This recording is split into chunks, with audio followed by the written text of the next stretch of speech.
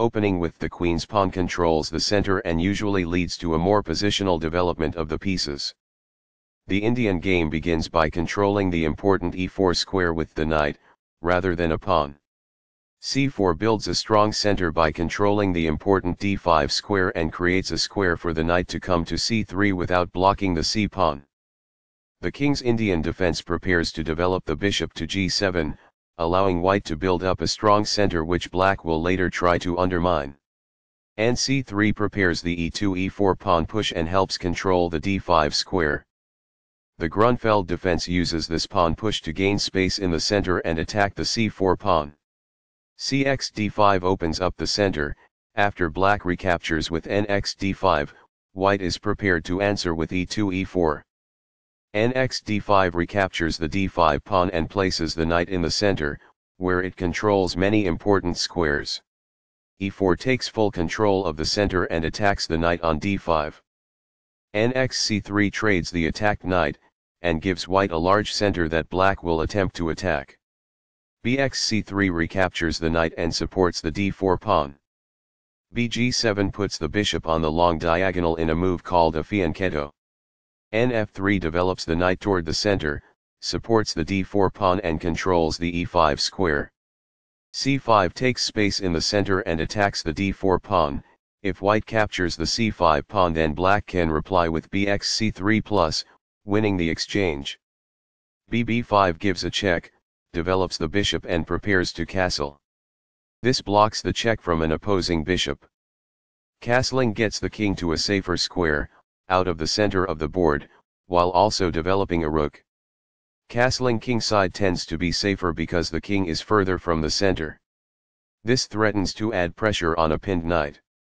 After all captures, this is an equal trade. Takes back. Castling gets the king to a safer square, out of the center of the board, while also developing a rook. Castling to the same side of the board as the opponent avoids some of the attacking associated with opposite side castling. This protects an underdefended pawn that is under attack. This threatens to kick a knight. This adds pressure by pinning a knight.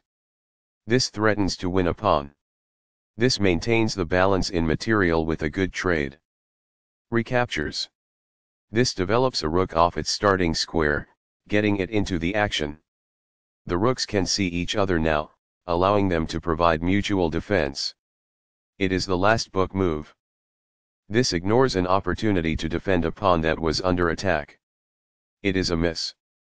This is an equal trade. This is the only move that works. It is a great move. Takes back. It is excellent. That was a free pawn. This threatens to push a passed pawn towards promotion. It is best. This threatens to activate a rook by getting it to the 7th rank. It is excellent. The passed pawn moves towards its goal. This threatens to push a passed pawn towards promotion. It is best.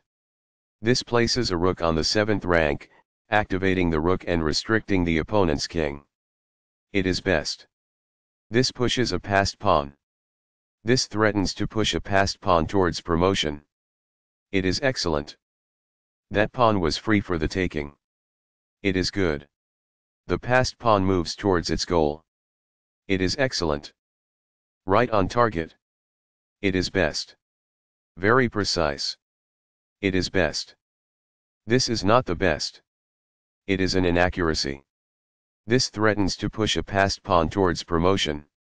It is an inaccuracy. This threatens to create a passed pawn.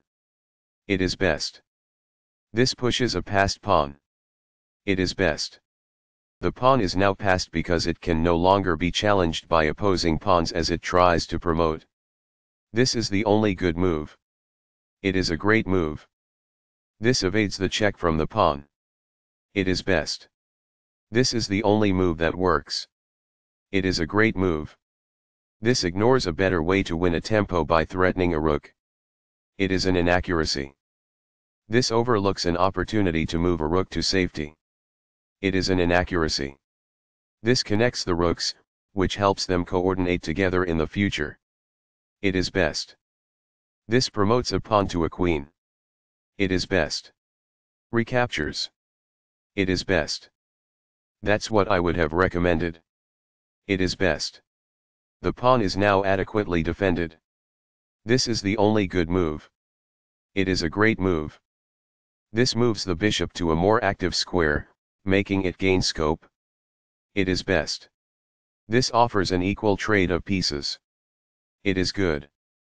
This move puts the queen on a safer square. It is best. This is a fair move. It is good. That's fine. It is good. This protects the attacked pawn.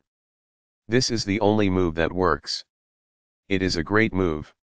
This blocks the attack on a pawn that could have been captured. It is good. This is the strongest option.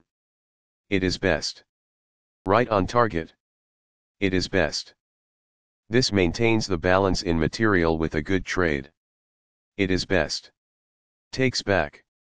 This is the start of the endgame and white is equal. It is best. This forks pieces by creating a simultaneous attack. It is best. This defends the attacked pawn. It is best. This evades the check from the queen. It is forced. Very precise. It is best. Balanced neither player ever had an advantage. That game was pretty competitive. Both players had an amazing opening. That was an incredible middle game by both players.